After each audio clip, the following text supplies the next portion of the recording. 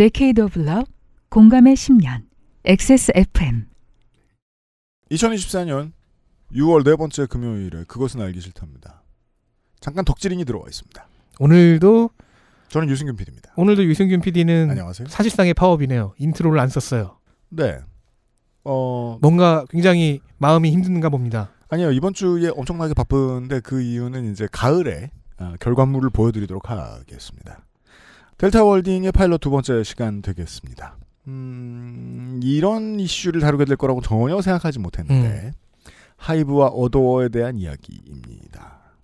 다만 이제 어, 이런 관점이 저는 필요하다고 생각하긴 합니다.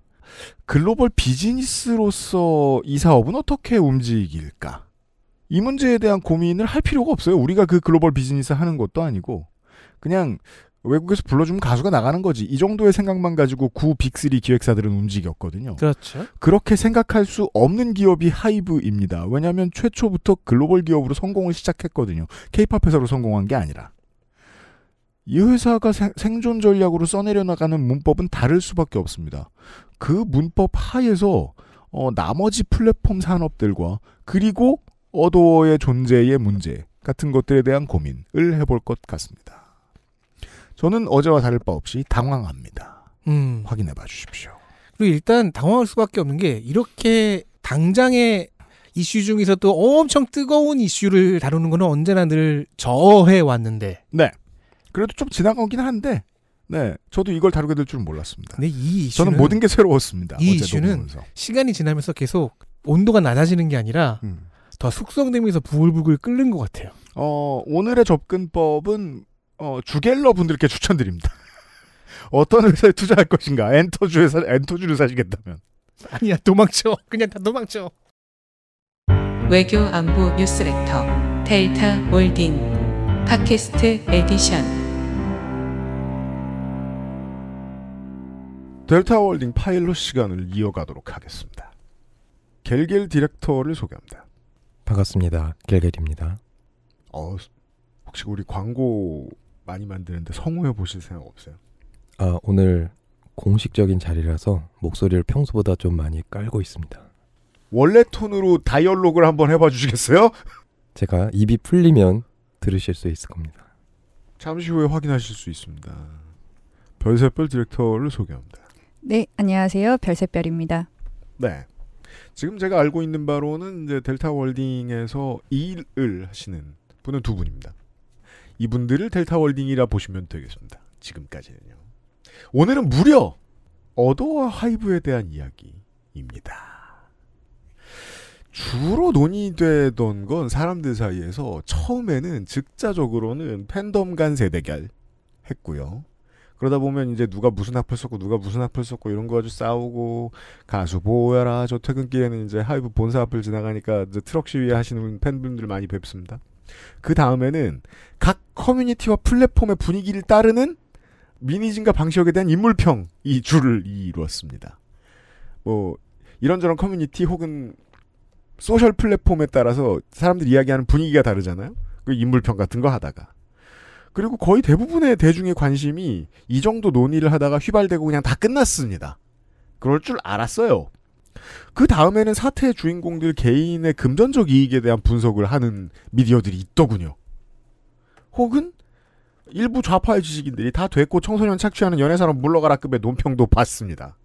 죄다 저는 보면서 아, 이 모든 논평이 저를 이 사건으로부터 흥미를 떨어뜨리게 만들었습니다.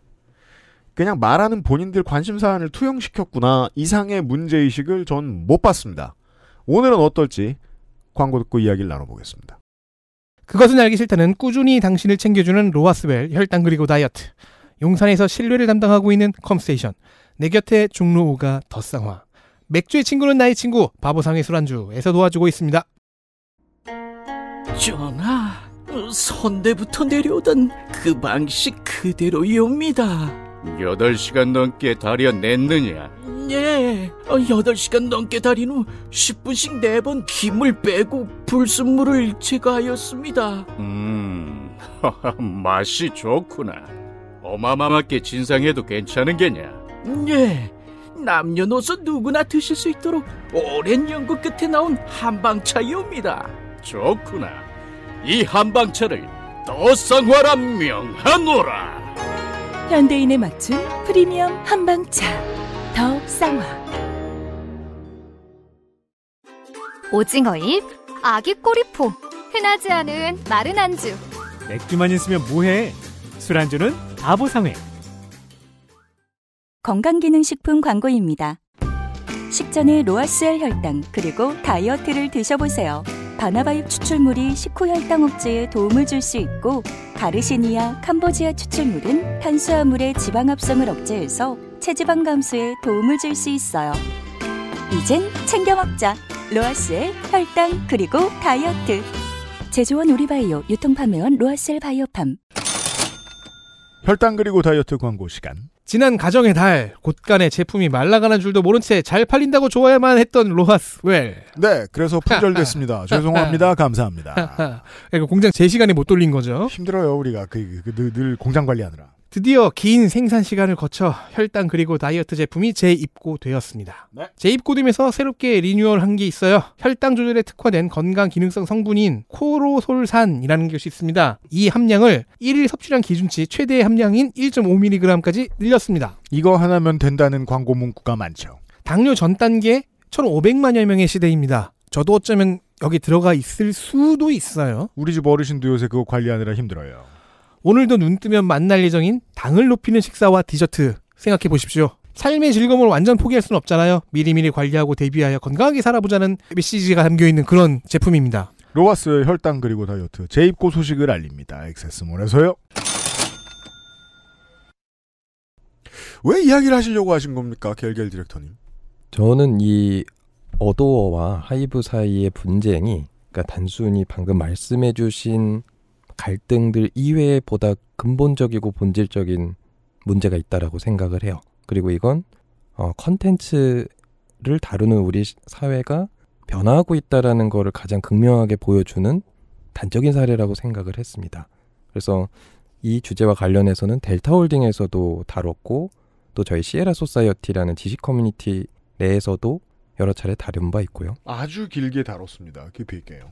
그렇습니다. 저희가 이제 본격적으로 얘기를 하기 전에 어, 아마 저희가 사, 자주 사용하게 되는 단어들이 있을 건데 이거를 어, 어제 방송을 못 들으신 분들은 또 못 따라오실 수도 있어요. 그래서 그것만 간단하게 좀 정리를 해보자면은 어, 저희는 외교안보 전문 뉴스레터 델타월딩에서는 이제 구독자분들을 호칭하는 애칭이 있습니다. 비밀 요원이라는 말을 씁니다. 네, 그리고 또 저희가 운영하는 지식 커뮤니티 시에라 소사이어티에서는 지식의 산맥을 등반하는 원정대원이라고 합니다. 그러면 저희 그알싫을 듣는 청취자들은 실러라고 불러드립니다. 네, 실러. 실러는 누구죠? 실러는 독일의 극작가이자 철학자로서 저명한 지식정보 사이트 나무위키에서 빌려왔습니다. 독일의 저명한 극작가이자 철학자 실러의 마음으로 우리 같이 한번 건강하고 아름다운 담론문으로 들어갈 텐데요. 제가 먼저 질문을 한번 좀 던져 보도록 하겠습니다. 이거 너무 어렵고 뭡니까? 딱딱하게 생각하실 필요 없고요. 어쨌든 미니진과 방시형, 뭐 미니진과 하이브, 뭐 뭐라고 부르든 어쨌든 두 개의 어떤 대립구도가 형성이 되었습니다. 첫 번째 질문은 누구에게 조금 더 감정이입을 하면서 받는가인데요. 자, 피디님 먼저 여쭤볼게요. 누구에게 조금 더 조금이라도 1%라도 더 뭔가 감정이입을 하면서 보셨나요? 저는 다- 양쪽 다 대박 싫어서 망했으면 좋겠습니다. 아, 네. 이런 기타 답변 너무 감사드리고요. 네, 아예 감정을 물어보시다니 깜짝이야. 본의 아니게 솔직히 말해버렸네. 아, 네. 네. 어, 오늘, 오늘 저희 델타홀딩과 함께 하면서 PD님의 의외의 면모들을 좀 많이 보게 되지 않을까 오늘 싶고요. 네. 자, 겔겔님, 겔겔님은 누구에게 좀 더 감정이입하면서 보셨나요? 저는 미니진에게 그래요? 1% 정도 더 감정이입을 해서 봤습니다. 49대 51. 51이 미니진이죠. 아, 네. 그럼 뭐 비긴 거예요. 네. 혹시 그 겔겔님은 델타홀딩에서 어떤 역할이신 거죠? 델타월딩 에서 이제 같이 기획을 하고 프로그램도 만들고 아이템도 짜고 회의를 하고 별새별이라는 대표를 모시고 있는 팀원이라고 할 수도 있겠습니다. 제가 네. 관찰한 바 모신다는 표현 적확합니다.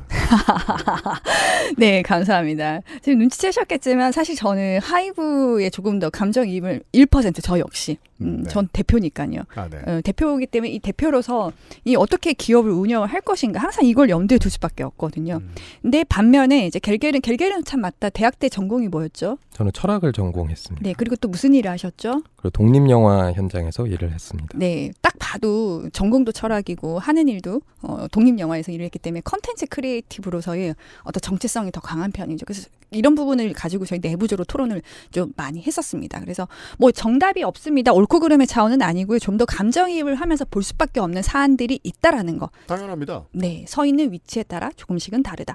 그러면 이 많은 이야기들이 나온 이유는 뭐라고 생각을 하나요? 저는 기본적으로 이 사태를 바라보는 사람들이 어떤 사회적인 위치에 있느냐, 연령이 될 수도 있고, 성별이 될 수도 있고, 직업적인 측면도 있을 것 같아요. 이 지점들에 따라서 이 사태를 바라보는 관점들이 조금 다르다고 느꼈습니다. 그래서 제가 뭐 주변에도 물어보기도 하고, 또 이제 인터넷 커뮤니티를 여러 군데를 돌아다니면서 좀 찾아봤는데요. 예. 기본적으로 2030을 포함한 사회초년생들 혹은 이제 막 경력을 쌓기 시작한 사람들은 대체적으로 미니진에 옹호하는 스탠스를 보였습니다. 그러니까 보통 미니진을 부당한 권력에 맞서 싸우는 어떤 의로운 투사 그리고 굉장히 오랫동안 자기 혼자서 주도적으로 이끌어가는 기자회견을 보고 아 사이다 발언이다라고 하는 평들이 줄을 이뤘고요. 또 한 측면에서는 아무래도 4, 50대 남성들과 대비되는 모습의 어떤 여성상을 그린 것 때문에 이 갈등이 좀 더 부각이 되고 거기서 이제 미니진 편을 들었던 것 같아요. 그러니까 요게 한 축이 있고요.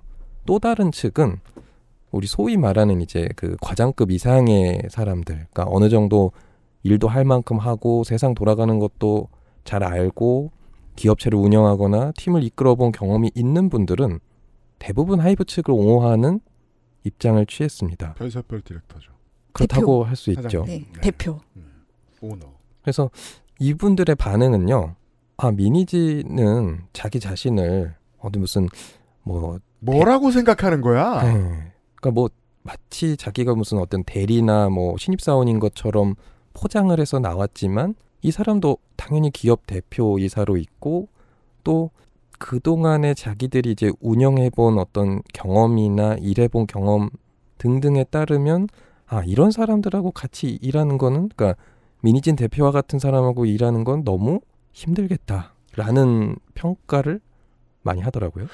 업계 내부에서 협업을 해본 사람들의 인간적인 평가는 두 사람 모두 극악입니다. 이건 어, 판단에 도움이 되진 않습니다. 지금 제 말씀은. 요런 축들이 있고요. 또 이제 우리가 근데 가볍게 접하는 것들은 이제 10대 혹은 이제 20대 초반은 이제 밈으로서 열심히 미니진을 소비하고 있습니다. 어, 그 밈은 즐겁죠. 특유의 그 파란색 모자와 줄무늬가 그려진 초록색 티셔츠를 입고 비속어를 섞어가면서 기자회견하는 모습이 아, 이 나우나의 기자회견 이후로 인터넷 역사상 가장 활발하게 소비되고 있는 밈이 아닌가 제발 의정부고 졸업사진 기대하셔야 되겠습니다.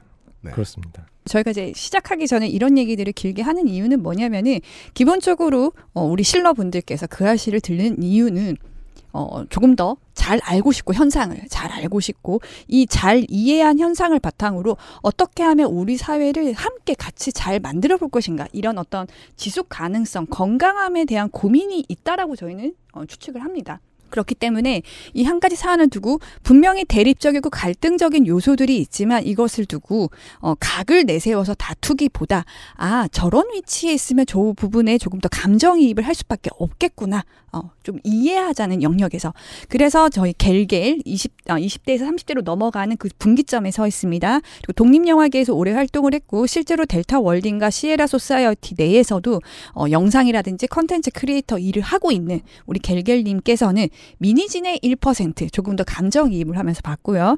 저는 이제 40을 이제 넘었습니다. 40을 넘었고 델타 월딩과 시에라 소사이어티를 운영하는 물론 저도 컨텐츠 크리에이터이긴 하지만 동시에 운영자 경영인이거든요. 그래서 하이브에 조금 더 감정이입이 1%가 되더라. 그렇다고 저희가 갤갤과 제가 싸우진 않거든요. 그냥 같이 보면서 아 이거 어떻게 해석을 할 것인가. 사실 이러한 해석의 결과물이 앞서 또 우리 PD님께서 말씀해 주셨던 비밀 작전으로 나오게 된 거죠. 델타 월딩 비밀 작전은 얘기가 나온 거고요. 마지막으로 한 가지 이거는 뭐 길게 얘기하기보다는 그냥 좋아하는 아이돌 정도만 한번 취향을 하긴 하고 바로 넘어가도록 하겠습니다. 우리 PD님 좋아하는 아이돌 이건 있으셔야 돼요. 진짜요? 네, 있으셔야 됩니다. 마음껏 공유하십시오. 어, 좀 이상하긴 한데 뉴진스입니다. 아, 네, 감사합니다. 예, 왜냐하면 저는 최근에 다시 음악을 공부하는 중이라서 어. 예, 어, 뉴진스를 그러니까 음악으로만 요거 좀 딴 얘기라서 그냥 새는 걸 이해해 주십시오. 아, 그 너무 좋습니다. 이런 이런. 얘기. 네. 어, 기존의 빅3하고 하이브가 가장 다른 점이 음악의 완성도를 전혀 케이팝의 문법과 다른 곳에서 찾는다는 지점이거든요. 거기에 있어서 획기적이라는 게 미니진 대표가 어, 어더 레이블을 소중하게 여기기에는 아주 중요한 계기가 됐을 것이고 이것이 경제 전문가들이 이 상황을 분석하는데 어려움을 겪는 아주 중요한 이유이기도 하죠. 뉴진스의 팬이냐고 묻는다면 저는 그렇다고 말하겠는 게 음악적 성취가 너무 뛰어나기 때문이에요. 그 외에는 전 다른 건 잘 모르거든요. 케이팝에 대해서는 지금 공부하는 중이라. 여튼 뉴진스 찍기로 하겠습니다. 아우 감사합니다. 뭔가 어제와 오늘에 이어서 오늘 유승균 PD님의 의외의 면모들을 많이 보게 됩니다. 개인적인 얘기들도 많이 듣고요. 대박팬은 아닙니다. 50일 정도로 하죠. 아, 네, 감사합니다. 겔겔님, 겔겔님 아이돌 제가 참 이율배반적이지만 아이돌 노래를 듣지를 않습니다. 제가 이 주제를 선정을 했지만 아이돌을 즐겨 듣지는 않고요. 대신에 방금 PD님 말씀하신 것처럼 뉴진스는 조금 지켜보게 되더라고요. 그래서 저는 이제 뭐 저나 별사별 디렉터님의 나이대로 봤을 때는 우리는 저 백스트리트 보이즈나 테이크 댓을 얘기해야 되는데요. 그 뭐 논의에 전혀 도움이 안 되니까 그건 빼고요. 그래서 저는 음악적 성취보다도 일종의 브랜딩으로서 소비되고 만들어지는 측면에서 일종의 분기점이 되지 않나 뉴진스가 그래서 조금 여러 가지 측면에서 기존 케이팝과 좀 구분되는 지점들 때문에 뉴진스를 꼽아봤습니다. 자세한 설명은 앰플리파이드 팟캐스트를 참고하시면 되겠습니다. 저희가 뉴진스를 두 번 정도 얘기했어요. 김영대 평론가하고. 네, 어, 공교롭게도 두 분 다 뉴진스를 얘기해 주셨고요. 아까 유승균 PD님이 백스트리트 보이즈 얘기를 해주셨는데 사실 저는 백스트리트 보이즈 잘 모릅니다. 진짜요? 네, 모릅니다. 안타깝네요. 공부 열심히 하셨구나. 아, 저는 어릴 때 신앙송 테이프 들으면서 일어났고요. 네. 클래식 듣고 자라나서 케이팝도 그 저는 H.O.T. 젝스키스도 잘 몰라요. 서태지도 잘 모르고요. 어째 코드 맞추기에 문제가 있다 했습니다. 아, 아닙니다. 하지만 대신 최근에는 열심히 알아보셨습니다. 아, 아닙니다. 그런데 제가 샤이니와 FX를 정말 좋아합니다. 음. 어, 정말 아까 음악적 완성도 얘기를 해주셨는데요. 저는 샤이니와 FX를 그때가 이제 2000년대 뭐 중후반쯤에 등장을 했잖아요. 그때 이제 20대 때인데 길에서 우연히 듣고 어, 어떻게 이런 음악이 나타날 수가 있지? 라고 하면서 그때부터 샤이니와 FX를 들었고 사실상 어떻게 보면 지금 공교롭게도 민희진 universe가 여기서 지금 만들어지고 있습니다. 다 뉴진스 얘기하고 저는 뭐 샤이니와 FX가 민희진이 음악 작업을 한 건 아니지만 visual art director로서 큰 활약을 했기 때문에 솔로 프로젝트를 포함해서 SM이 지금까지 내놓은 뭐 모든 훌륭한 아이돌들 중에 음악적으로도 패션 코드로도 가장 완성도가 높았던 팀들이지요. 네, 맞습니다. 그래서 제가 샤이니 FX를 너무 그러니까 가- 충격을 받았어요. 충격을 받아서 어느 정도까지도 이렇게 쫓아다녔다 이런 얘기보다는 도대체 이 음악을 만드는 작곡가는 누구일까, 안무가는 누구일까 이런 것까지 확인해 가면서 이렇게 들을 정도로 어, 정말 충격과 공포의 전율이었다. 이제 저는 할수 있고요. 우리 듣고 계시는 신러분들께서도 아마 마음속으로 좋아하는 아이돌 그냥 상상을 하시면서 얘기를 같이 들어주시면 좋고요. 그럼 이제 본격적으로 시작을 하겠습니다. 저희 델타 월딩 비밀 작전에서도 한 차례 다루긴 했지만 어, 우리가 이 민희진과 어, 하이브 사태에서 좀 주요하게 짚은 포인트가 있습니다. 어떤 경영 전략 내지는 이제 이 아이돌을 만드는 방식에 있어서 차이가 있습니다. 한번 그거 얘기를 해주시면 감사하겠습니다. 네. 아이돌을 육성하고 상품으로 판매하는데 두 가지 키워드로 구분을 해봤어요. 그래서 Taylorism 방시혁과 tailor-made 민희진 두 가지로 구분을 했습니다. 두 개가 사실은 조금 전문적인 용어인데요. 단어 설명이 필요하겠습니다. 이 Taylor- 경영학과 수업에서 졸다가 듣는 단어죠. Taylorism. Taylorism은 쉽게 말해서 그러니까 적은 비용과 시간을 가지고 얼마만큼 효율적으로 생산할 수 있는가와 같은 일종의 효율성을 극대화하는 방식을 표현하는 말입니다. 사장님들의 꿈 같은 소리입니다. 그리고 tailor-made는 우리 소위 말하는 장인 정신이라고 하죠. 수공예, 맞춤형 제작과 같이 한 땀 한 땀 정성 들여서 만든 것들을 칭하는 표현입니다. 그래서 그러니까 이 이건 두 원래 가지가 이제 네. 옷 만드는 사람 일컫는 그 tailor에서 온 단어고 앞에 Taylorism은 무슨 경제학자, 경영학자 이름에서 나온 걸로 알고 있습니다. 네, 그 설명이 맞을 거예요. 네. 네. 그래서 두 가지를 가지고 케이팝 산업을 이해하는 방식을 좀 새롭게 볼 수 있을 것 같아요. 그래서 저는 이제 이 사태를 보면서 사실 이 Taylorism, tailor-made 말씀을 해주셨는데 또 우리 PD님께서 운영자는 이 경영 효율화에 관심을 가질 수밖에 없다라고 말씀을 해주셨잖아요. 좀 이게 정말 눈에 띄더라고요. 방시혁이 지금 하이브를 통해서 어떤 방식으로 경영 효율을 구축하고 있는가라고 했을 때 과거에는 아이돌을 육성하는데 아마 아이돌 팬들분들은 잘 아시겠지만 아이돌을 육성하는데 5에서 7년 걸려서 연습생을 훈련을 하고 더 길기도 하고요. 맞습니다. 어 그리고 이제 이 아이돌마다 시차들도 있어요. 그러니까 3에서 5년 단위로 데뷔를 시켜요. 그러니까 한 아이돌 데뷔하고 또 바로 아이돌을 데뷔를 시키는 게 아니라 시차를 두고 데뷔를 하는 거죠. 그러니까 이를테면 YG를 떠올려 보게 되면은 가장 최근에 베이비몬스터가 있고 블랙핑크가 있고 그 이전에 아 갑자기 이름이 생각이 안 나죠. CL하고 있는 그 그룹들 네. 네, 있습니다. 다들 잘 아실 거고요. 그러니까 시차들이 있어요. 그런데 지금 이제 하이브에서는 그렇지가 않죠. 뭐 1, 2년 사이에 엄청나게 많은 아이돌들이 남녀 상관없이 지금 양성이 되고 있는 거죠. 빅3는 연년생도 없는데 여기는 몇 달 단위로 새로운 아티스트들을 데뷔시킵니다. 이게 지금 하이브가 이전의 빅3와 차이점인데요. 그러니까 이게 또 가능한 이유는 역시 언론에서 많이들 단어들 접하셨겠지만 멀티 레이블 체제 덕분인 거죠. 근데 제가 또 하이브에 흥미를 느꼈던 거는 이 멀티 레이블, 레이블이라는 게 단순히 국내의 자회사를 여러 개 거느리고 있는 정도만이 아니라 이 아이돌 그 그룹이 타겟으로 하는 국가들도 조금씩 미묘하게 다르고요.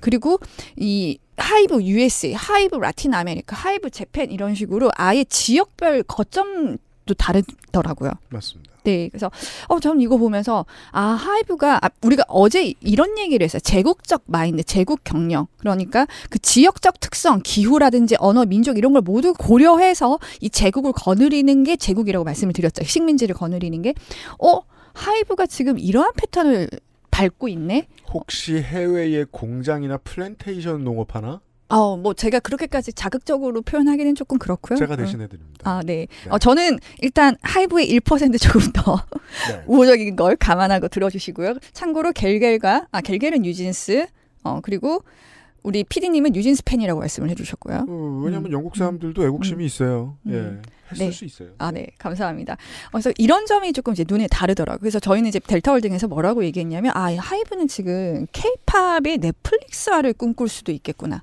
넷플릭스요. 네, 넷플릭스. 그러니까 이게 우리가 조금 미묘한 이, 이전에 그 빅3와의 차이를 이제 이해를 하셔야 되는데요. 이전에 빅3는 기본적으로 내수 시장, 한국 시장을 기본으로 발판으로 해서 뻗어나가는 방식이었습니다. 그런데 하이브는 애당초 이 BTS가 국내 시장의 인기를 발판으로 뻗어나간 게 아니거든요. 그럼요. 어, 네. 아예 오히려 해외에서 먼저 인기를 끌고 역으로, 그러니까 물론 이 시차가 너무 짧아서 이 차이가 미묘하게 감지는 안 되겠지만 기본적으로 해외 시장에서 먼저 인기를 끌고 국내에서 뒤늦게 서서히 인기가 올라간 케이스예요. 그러니까 하이브는 이러한 경험이 있는 거죠. 아, 이렇게 확장형이 아니라 각 지역별 전 세계 지도를 펼쳐놓고 지역별 맞춤형 성공 공식으로 들어가더라도 우리는 충분히 해볼 만 하겠다.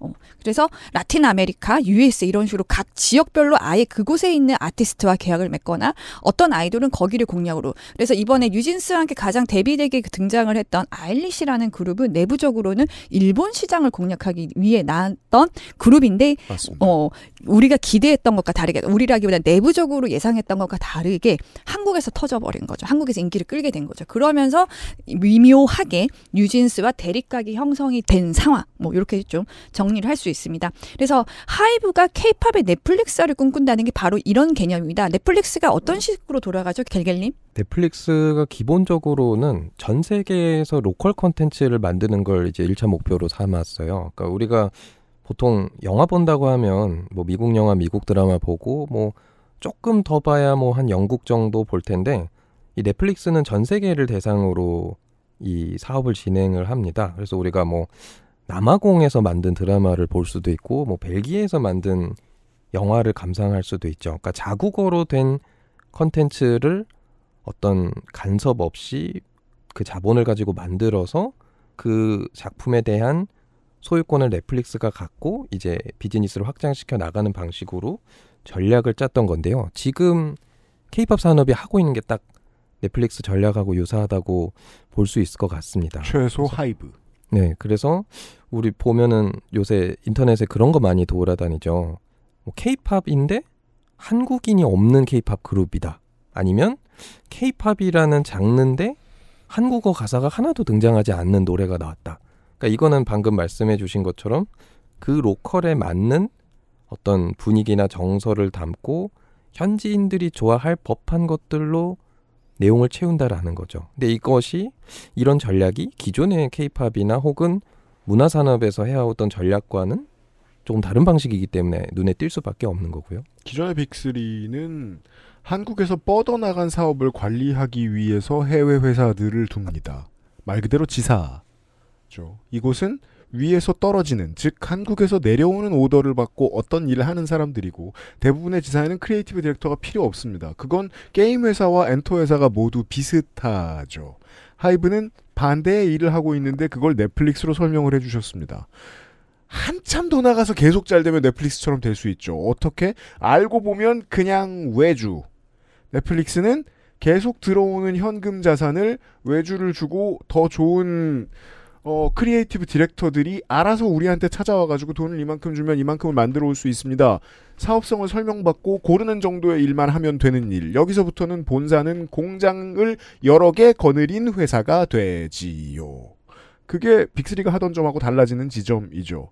그 비슷한 걸 어떻게 하지라는 고민을 충분히 못했다가 쿠팡 플레이가 한번 곤혹을 치렀죠. 드라마 안나를 내부의 디렉터들이 쿠팡 플레이의 직원들이 자기들 마음대로 편집했다가 욕을 먹은 적이 한 번 있었어요. 그래서 그 문제를 가지고 설명을 해주는 거예요. 넷플릭스가 그렇게 큰 줄 아냐. 알고 보면 거의 완벽하게 외주가 돌아가게 되어 있는데 그럼 그 고민해야 될 건 그 정도죠.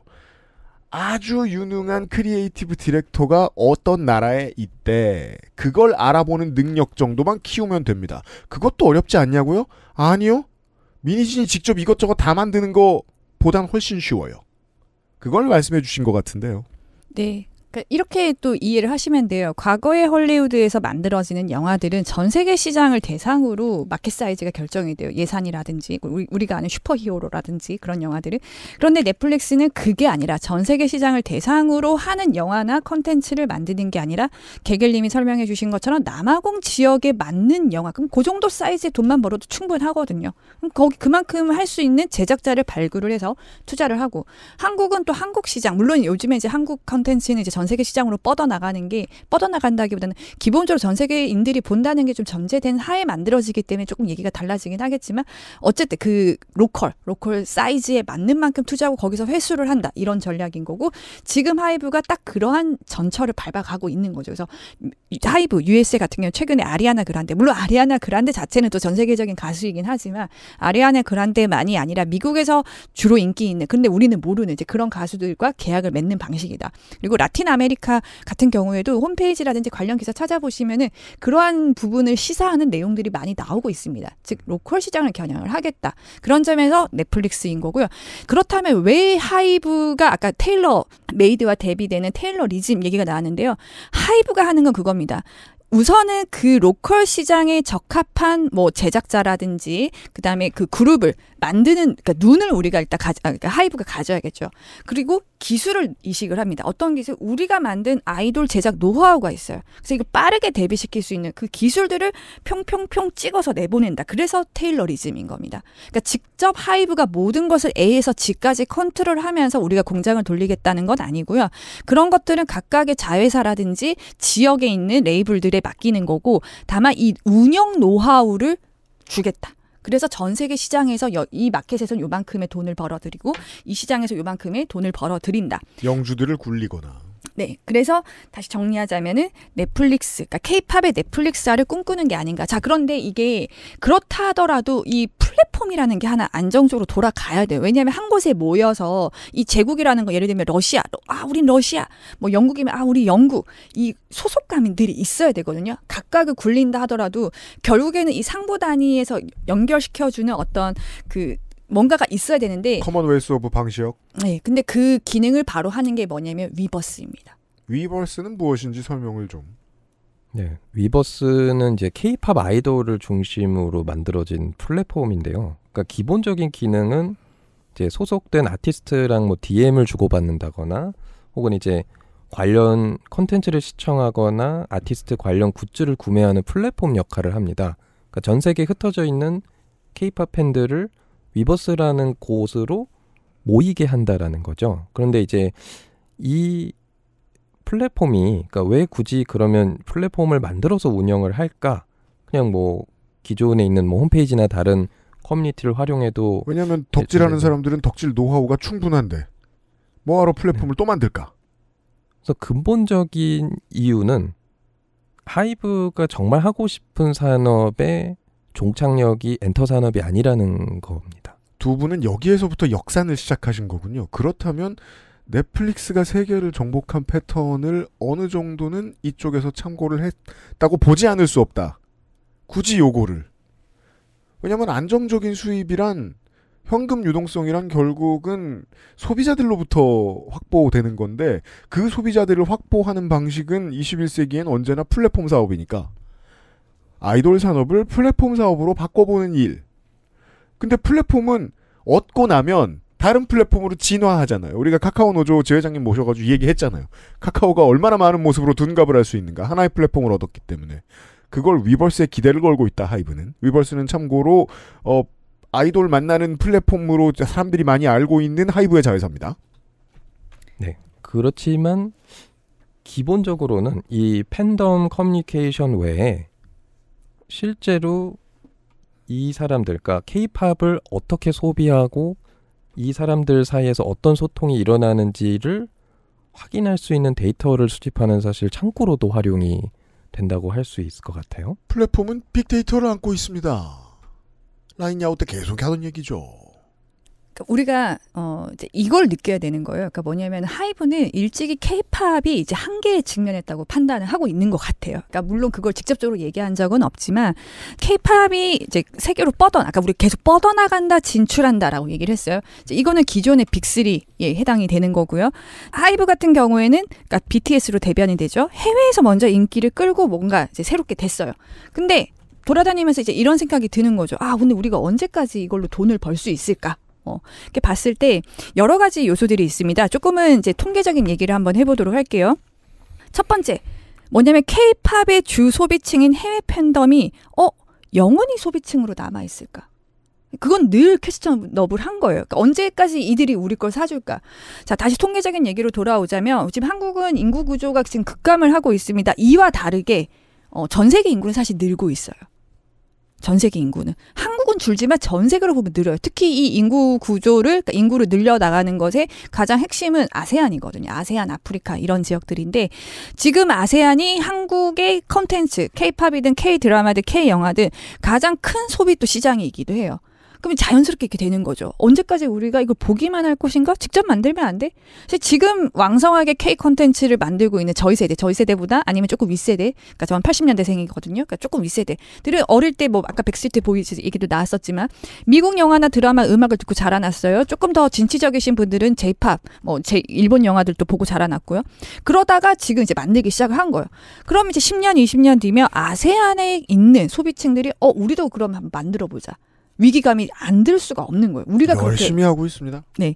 그리고 실제로 어 저는 이제 넷플릭스를 통해서 뭐 인도네시아나 말레이시아, 태국 원래부터 태국 영화는 정말 퀄리티가 뛰어났고 그건 오래전부터 퀄리티가 뛰어났었고 아무튼 이런 국가들의 영화들 주기적으로 보고 있거든요. 일부러 봐요. 나날이 문법이 달라져요.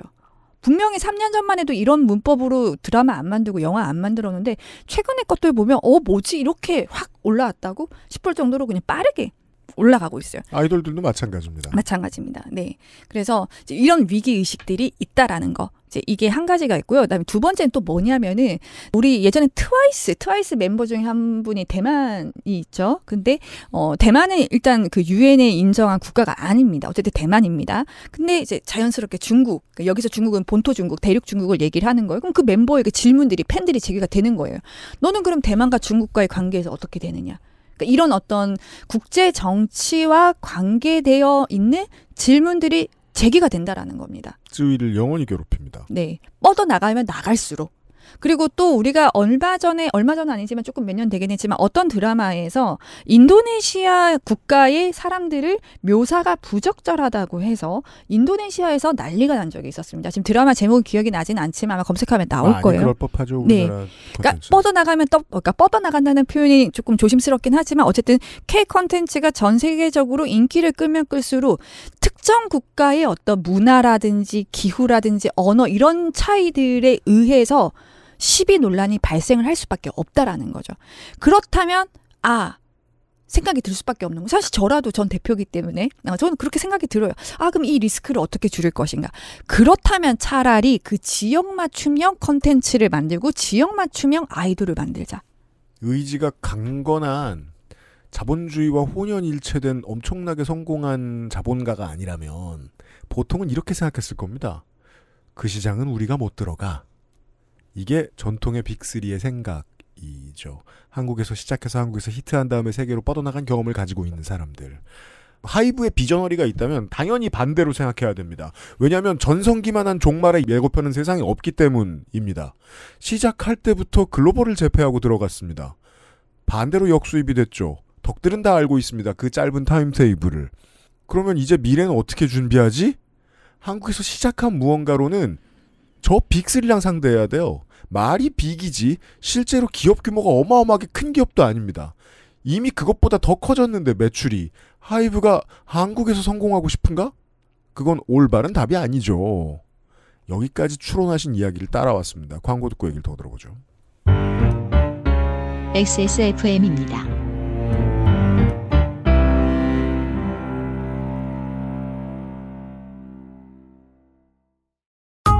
스포츠카처럼 강력한 사양의 high-end급 PC. 고가의 장비들을 내 손으로 조립하는 일, 시간과 열정, 꼼꼼함과 치밀함이 필요합니다.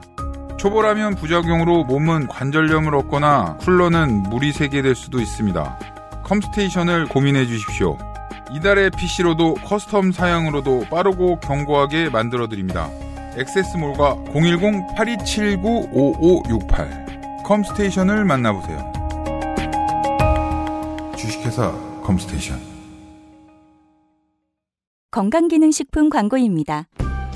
탄수화물과 당이 당신을 위협합니다. 식후 혈당 상승 억제, 탄수화물의 지방 합성 억제. 이젠 챙겨 먹자. 로아스의 혈당 그리고 다이어트. 제조원 우리바이오 유통판매원 로아셀 바이오팜. 8시간 정성껏 다려낸 현대인에 맞춘 프리미엄 한방차 더 쌍화 저는 쌍화차를 따뜻하게만 먹어야 된다는 이론에 반대합니다. 집에 가만히 있을 때 요즘 아이스 쌍화차를 가끔 먹습니다. 아이스 쌍화차를 마- 마셔본 적이 없네요. 그냥 커피 대신 가끔 씁니다. 더 쌍화. 무더운 여름입니다. 진짜 더워요. 근데 이때 뜨거운 아메리카노만 즐기는 변태들이 가끔 있어요. 얼뜨 아니구나. 뜨뜨아.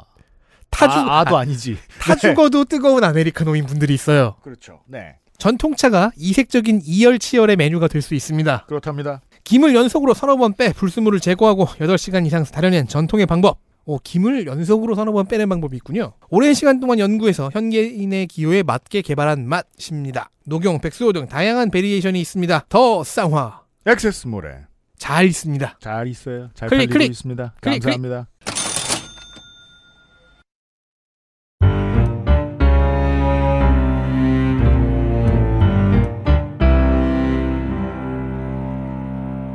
델타월딩의 파일럿 시간입니다. 아, commonwealth of 방시혁을 왜 일구고 싶어 하게 되었는가를 깨달았습니다.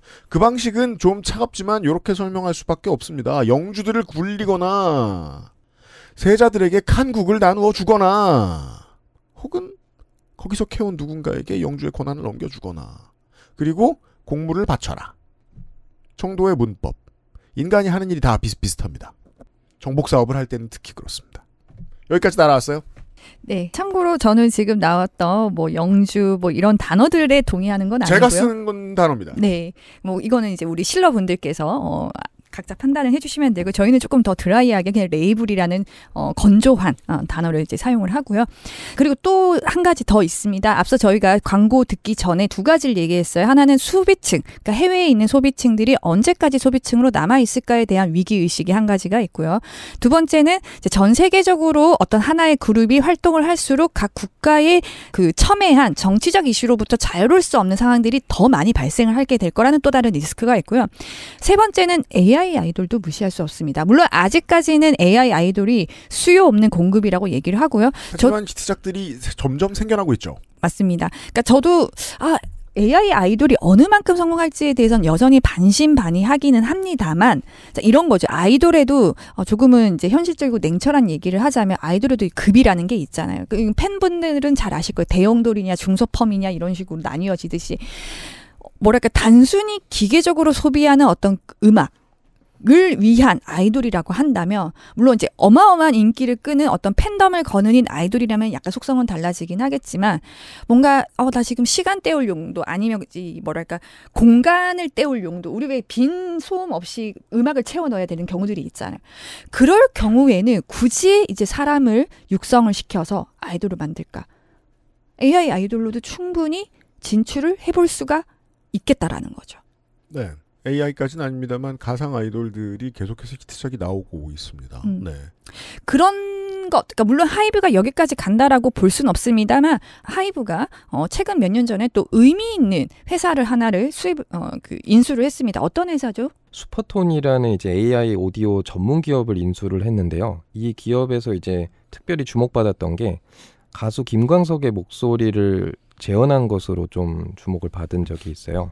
그래서 이 하이브가 2021년부터 23년까지 약 714억 원을 투자해서 지분 56.1%를 취득한 것으로 알려져 있습니다. 그래서 AI를 가지고 목소리를 만들게 된다면 어떻게 보면 사람을 갈아 넣는 방식으로 아이돌을 육성하는 것보다 훨씬 리스크를 많이 줄이고 또 육성 비용이나 인센티브도 더 많이 줄여서 효율적으로 운영하고 수익을 남길 수 있지 않을까라고 생각이 드는 것이죠. 그러니까 이것을 보면은 전반적으로 하이브가 아이돌과 이 음악 산업을 바라보고 있는 것이 철저하게 산업적이고 기능적이고 또 효율적인 관점 그리고 얼마만큼 적은 비용과 시간으로 이 수익을 내느냐 했을 때 이 AI 관련된 기술이 빠질 수 없다라는 거를 알 수가 있습니다.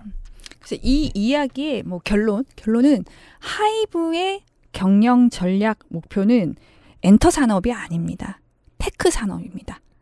tech 산업으로 나아가고 있는 하이브. 기본적으로는 이제 뭐 그런 일들 하던 회사입니다. TTS라고 하죠. 글 읽어주는 AI.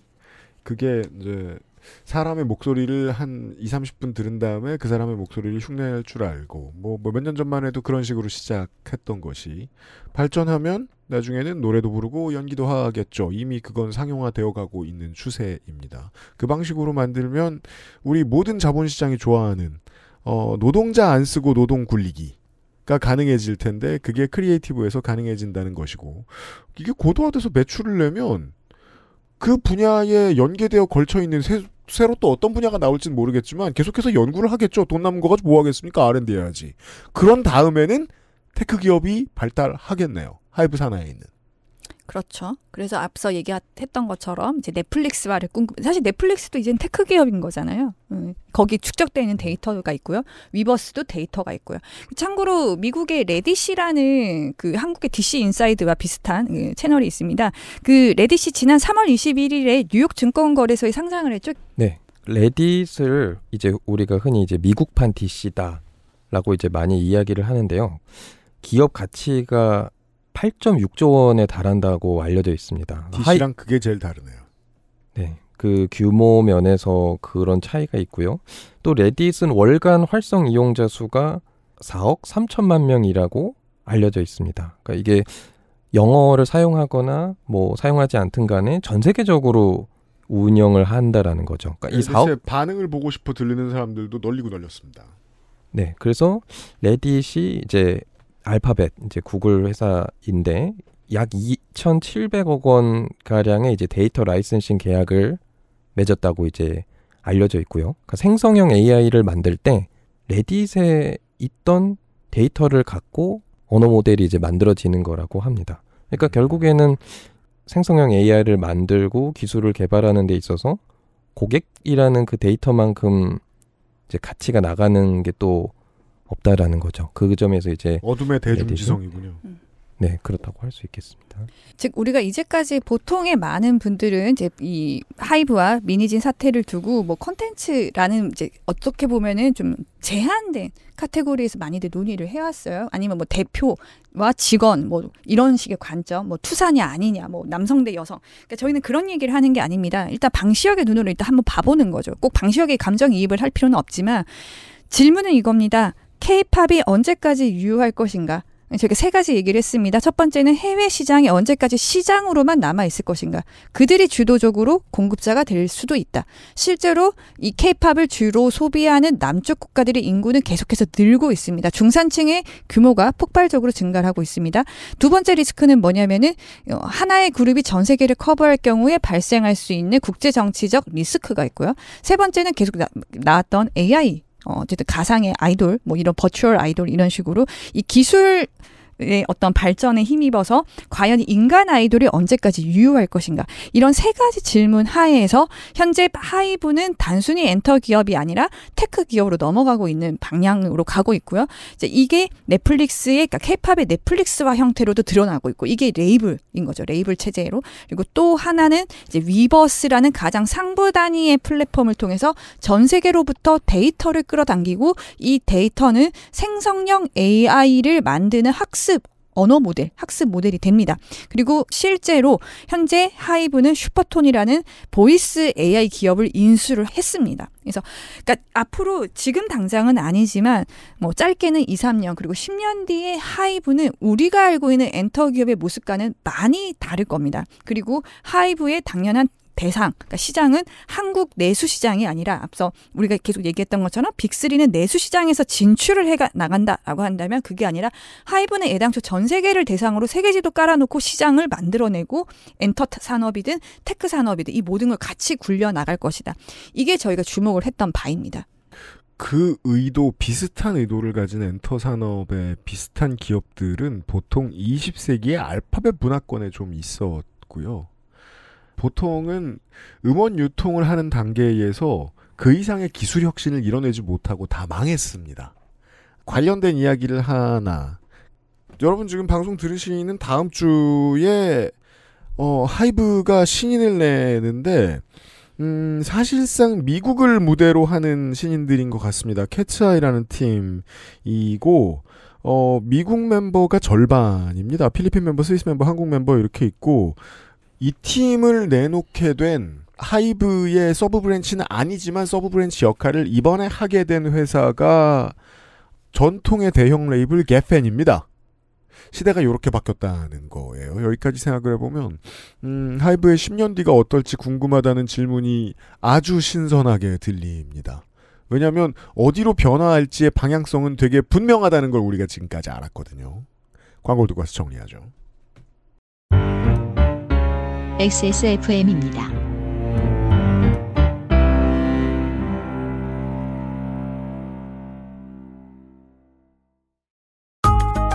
평생 인텔만 썼는데 라이젠이 뭐냐고요? 컴스테이션에 문의하십시오. 주식회사 컴스테이션.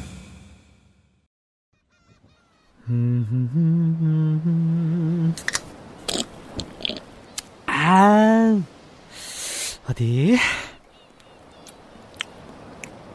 어, 마, 맛있는데? 바다, 술, 그리고 다보상의 술안주.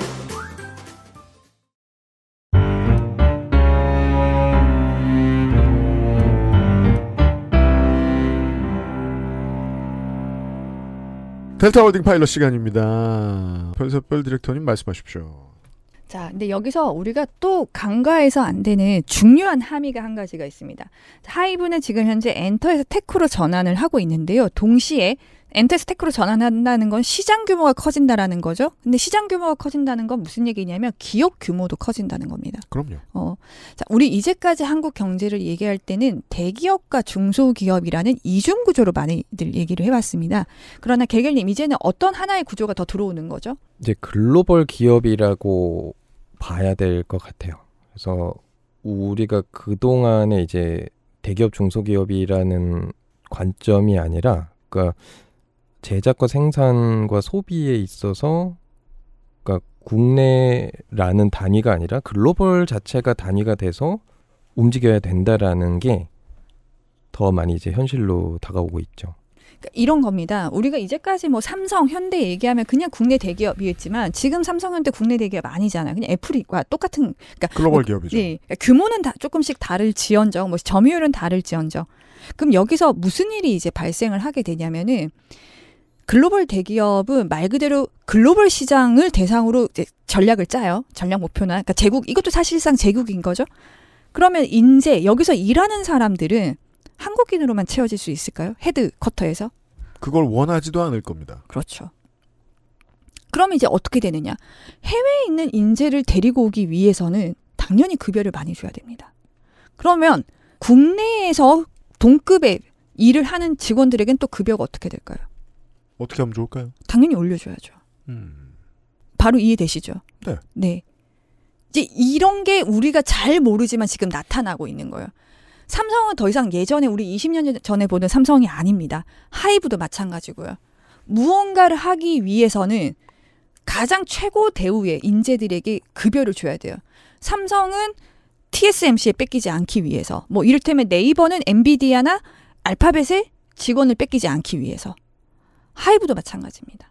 어떤 인재를 고용하기 위해서는 전 세계 시장급으로 상상력을 갖추고 있는 인재를 모셔와야 돼요. 어, 그에 준하는 급여를 줘야 되고요. 엔터업계 최고 비용을 내야 될 거다. 네. 저는 일단 1%라도 조금 더 하이브에 감정 이입을 하면서 본 사람입니다. 그럼에도 불구하고 뭐 이런 얘기들 많이 한단 말이에요. 어, 미니진이 어쨌든 고용된 대표 주제에 어, 너무 욕심을 부렸나? 아, 사실 그거는 계약 관계, 그들끼리 합의할 문제지 우리가 왈가불가할 건 아닌데 욕심이 얼마인지는 알 필요 없어요. 네. 근데 일단 받아들여야 돼요. 더 이상 미니진도 하이브도 내수 시장이 아니라는 거예요. 어, 우리가 상상하는 그 이상의 급여를 받아도 스톡 옵션을 받아도 주식을 부여받아도 그거는 글로벌 단위로 우리는 이제 생각을 해야 된다라는 거. 이게 이제 스카우팅 할 때 중요한 문제는 scouting에 반대되는 리포트입니다. scouting 될 헤드 헌터들에 의해서 scouting 될 인재들이 이 회사에 대한 평판을 어떻게 갖추고 있느냐. 이건 사람인 후기급이 아닙니다. 헤드헌터들도 정직하게 얘기해 주지 않으면 자기 평판에 방해가 되기 때문에 거짓말하면 안 돼요. 제일 유능한 전 세계에서 제일 유능한 creative director를 데리고 오지 않으면 이 제국은 완성될 방법이 없습니다. 토착 기업들한테 막힐 거예요. 무조건.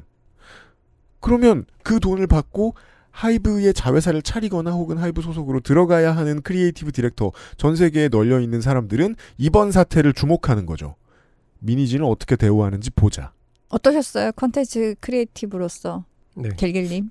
창작을 하는 사람의 입장에서 민희진에 1%를 더 공감하면서 봤는데요. 그 기자회견에서 했던 말 중에 이런 표현이 좀 기억에 남더라고요.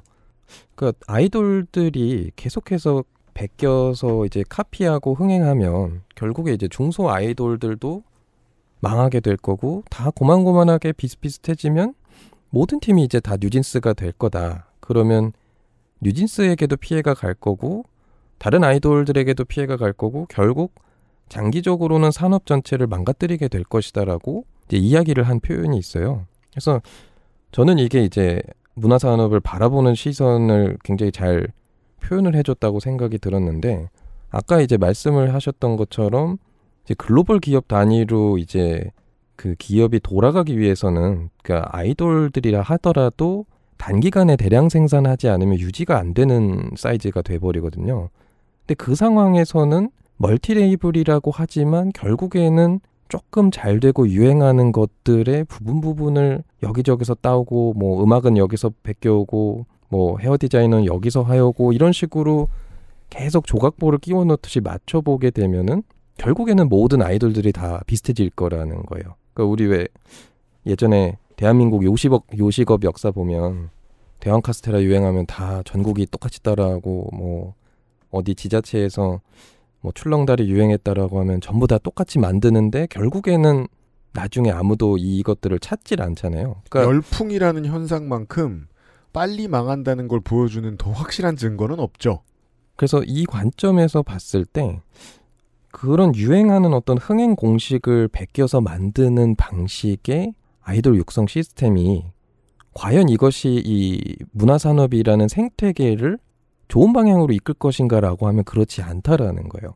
근데 문제는 단기간에 좋은 것들을 만들어내려면 어쩔 수 없이 비슷해지고 어쩔 수 없이 퀄리티도 떨어질 수밖에 없는 거거든요. 그래서 제가 요거 관련해서 인터넷도 좀 찾아봤었는데 어, 누구라고 얘기는 하지 않겠지만 가창력 논란이 좀 크게 생겼던 아이돌 그룹들이 몇 있었어요. 그런데 이제 거기서 대중들 혹은 팬덤이 지적을 했던 부분이 뭐냐면 민희진 같은 프로듀서들이 아이돌이라는 이 음악, 걸그룹이라는 이 장르를 그저 애들이나 듣고 그저 돈벌이나 하는 어떤 수단에서 벗어나서 하나의 branding으로 만들고 하나의 어떤 작품이나 아트라는 단계로 끌어올렸는데 방시혁을 필두로 한 이 하이브의 multi label들이 그걸 다 말짱 도루묵으로 만들어 버렸다라는 비난을 하는 거예요. 어, 이 사람은 정말 그 tailor made처럼 장인 정신처럼 수공예로 하나씩 만들어서 이 사람을 단순한 상품이 아니라 어떤 예술적인 가치나 의미 부여를 하면서 이 브랜드를 해왔는데 이것들을 싹 다 무시하고 단기간에 비슷비슷한 고만고만한 아이돌을 찍어내면 결국에 나중에 가서는 이 산업이 지속되지 않겠, 않지 않겠느냐. 그 외국인들이 어 케이팝 좋다고 해서 들어보려고 했더니 뭐 노래도 제대로 못하고 춤도 제대로 못 추고 퍼포먼스도 별로고 그렇게 되면 결국에는 이 산업이 커지기는커녕 더 축소되고 위축될 것이다라고 우려를 했던 거죠. 그래서 이런 관점에서 본다면 어, 음악을 단순하게 어떤 산업의 논리나 자본의 논리로만 바라봤을 때 생기는 어떤 부작용들 혹은 지속 가능성에 대한 어떤 의문들이 있는데 과연 이것만 가지고 케이팝을 논할 수 있을까? 혹은 이제 이런 요소들만 가지고서 엔터에서 tech 기업으로 온전하게 전환이 될 수 있을까라고 했을 때 의문이 좀 생긴다라는 거죠. 그래서 사실은 창작자는 사실 항상 두 가지 마음이 있어요. 소위 말하는 이제 예술하는 사람들은 유명해지고 싶기도 하지만 내가 예술가로서 또 인정받고 싶은 생각도 많이 하거든요. 근데 자본주의 사회에서 유명해진다는 거는 사실 돈도 많이 벌고 주목도 많이 받고 내가 만든 작품이 상품으로 어쨌든 잘 팔리는 걸 이야기를 해요. 자본주의 시스템 안에 내 삶이 일부 흡수되는 걸 원하죠. 그럼 완전히 끌려 들어가는 건 싫지만 그럼에도 불구하고 맞습니다. 내가 만든 노래나 작품이 공산품 취급을 받고 그저 아무나 따라할 수 있는 뭔가로 남는 건 또 싫은 거예요. 그래서 이 두 가지가 항상 긴장 상태에 있는데 저는 개인적으로는 이 tailor made로 지칭되는 이 민희진의 어떤 창작에 대한 가치관 혹은 이 아이돌 문화 산업을 바라보는 것이 더 장기적으로 봤을 때는 이게 조금 더 중요하지 않을까라는 생각을 했던 겁니다. 자, 어디에 감정이입을 하든 뭐 서 있는 위치에 따라 다릅니다. 어, 누가 옳고 그른지를 우리는 다툴 필요가 없고요. 이제 이번 사태가 하, 어, 함의하는 바는 지금 현재 한국 사회가 어떤 전환기에 있는가 그걸 보여주고 있습니다. 방시혁 입장에서 내진 하이브 입장에서 과연 케이팝이 언제까지 유효할 것인가라는 질문을 던지고 있고요. 타당해요. 음, 그래서 아 이게 단순히 컨텐츠라는 부분에만 국한이 되는 게 아니라 앞서 쭉 보아왔듯이 이제 tech 기업으로 전환을 꿈꾸고 있다. 뭐 케이팝의 넷플릭스화를 꿈꾼다. 전 충분히 가능하다고 봐요. 지금의 레이블 체제로 그러니까 이게 좋으냐 그르냐 싫으냐 좋으냐 이건 개인의 감상이기 때문에 제가 그 부분에 대해서 왈가불가하는 건 아니고요. 가능성 있다. 네, 이러한 전략 자체가 전혀 무모하 지 않고 그러한 방향성으로 가고 있다. 특히 이제 위버스 계속해서 이가 나오지만 위버스를 통해서 플랫폼을 구축을 하고 전 세계로부터 데이터를 수집을 해서 또 다른 AI 기업을 향해 나가고 있다라고 볼 수가 있습니다. 이 얘기는 꼭 하고 싶어요. 더 이상 한국은 중소기업, 대기업의 이중 구조가 아니라 중소기업, 그러니까 내수 대기업, 여기서 대기업 이제 내수 대기업, 글로벌 대기업, 삼성, 현대, 하이브, 또 SK 하이닉스. 더 이상 한국 기업이 아니에요. 글로벌 기업이고 애플 우리가 알고 있는 아마존 같은 급의 기업이고요. 그러기 위해서는 인재를 유치하기 위한 경쟁이 치열해질 수밖에 없습니다. 그러다면 몸값에 대한 진통이 생겨날 수밖에 없고요.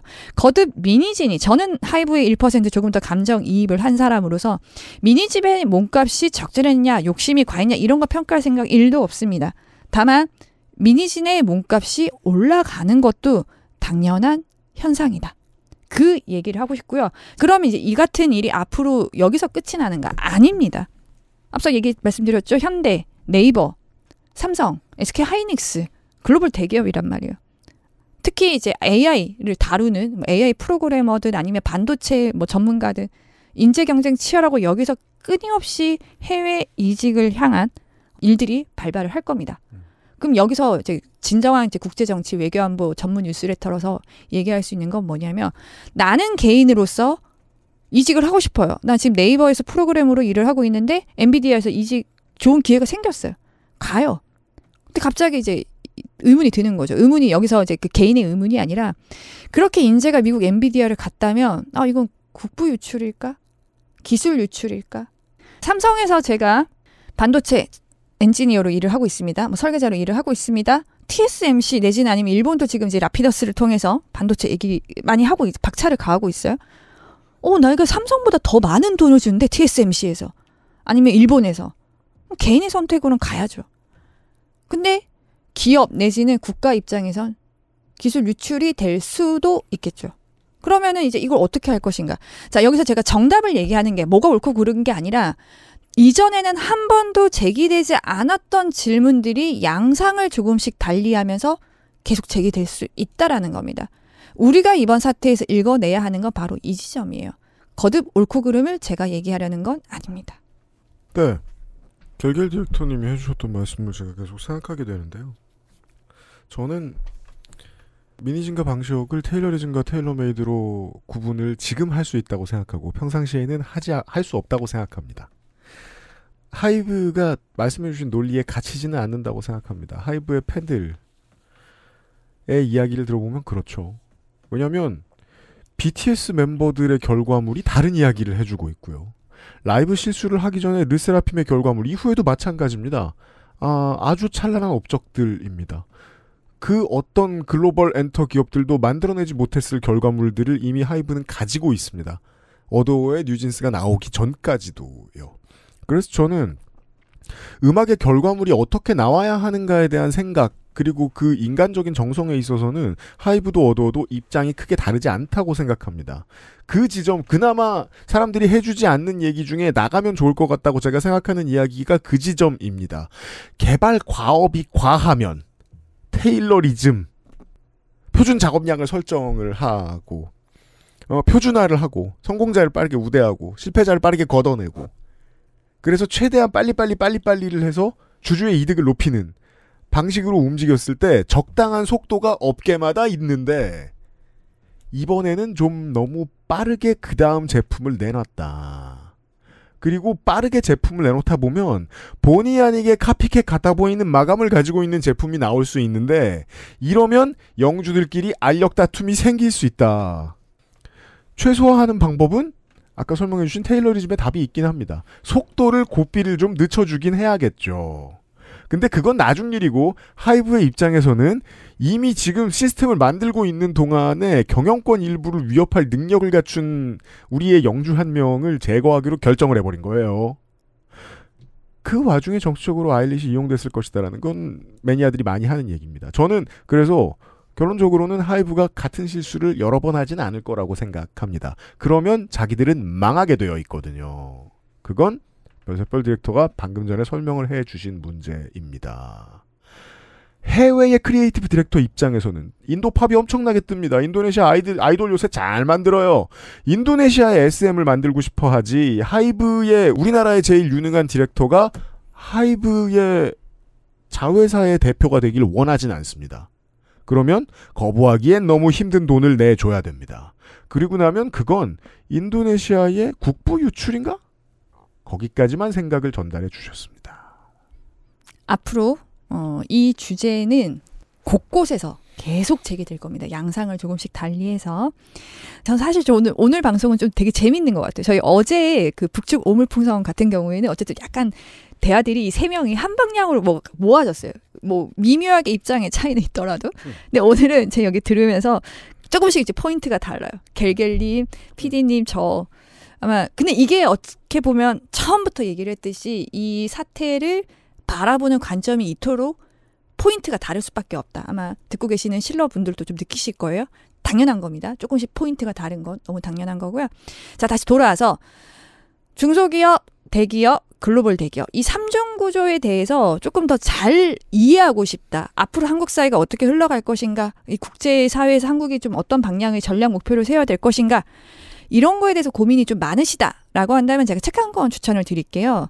아마 이것도 많이 들어보셨을 건데 조기동 작가의 아, 네. 이탈리아로 가는 길입니다. 어, 이 책이 지금 얘기했던 이런 함의들이 조금 잘 드러나 있고요. 이탈리아로 가는 길을 포함해서 이제 총 세 권의 책을 이제 같이 읽는 모임이 있습니다. 저희 베이스 캠프라고 부르는데요. 네. 이제 국제개발 협력에 종사하는 원정 대장, 그러니까 우리 원정 대원님들 중에 자신이 직접 베이스 캠프를 만들어서 운영하는 분이 이제 원정 대장이라고 부릅니다. 네. 그래서 이제 그 원정 대장님과 함께 어, 혼자서는 좀 읽기 힘들지만 한 번쯤 시간 내서 읽어보고 배워보고 싶다 하는 이제 뭐 국제사회라든가 이제 정치, 외교안보 관련된 책들을 읽는 모임이 있는데요.